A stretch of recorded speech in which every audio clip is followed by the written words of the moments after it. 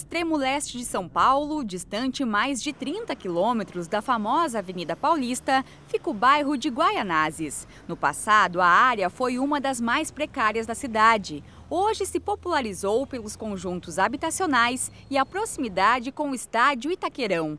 É nesta região, onde vivem mais de 100 mil pessoas, que está a Escola Estadual Pedro Tasques. Aqui, novas experiências são registradas desde o ano passado. Uma delas é a frequente presença de uma coordenadora pedagógica em sala de aula. O objetivo é entender as necessidades da escola e da professora. A parte mais importante é o auxílio, é a devolutiva, né?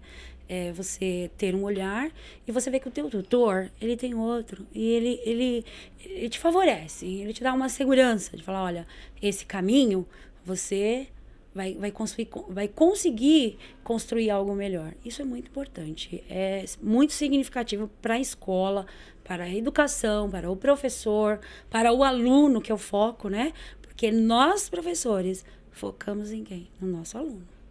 Tem que ser refletido lá. O acompanhamento e o apoio aos professores de português e matemática é só uma ação do programa de tutoria do Itaú Social. Criado para melhorar a aprendizagem e fortalecer as lideranças escolares, o programa prevê encontros semanais de formação e de avaliação. Tudo dentro da própria escola e com uma agenda bem definida. A ação envolve as supervisoras de ensino do Estado de São Paulo, a direção e a coordenação pedagógica. No nosso papel, como diretoria de ensino, como supervisora e apoiado pela Fundação Itaú Social, é fortalecer esta, este, esse personagem que é o diretor de escola, para que ele possa, dentro de toda a complexidade que existe na escola, poder acompanhar e atuar e fortalecer também as suas coordenadoras, sendo que a diretora também se constitui como uma tutora dos seus professores coordenadores. Então é um trabalho que vem em escala.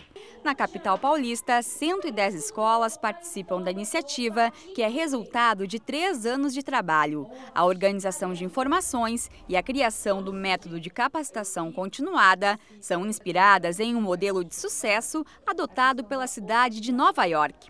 A tutoria é uma estratégia de formação continuada a partir da experiência, a partir da prática. Então, um profissional mais experiente, que já percorreu um caminho, ele auxilia o outro numa parceria de formação.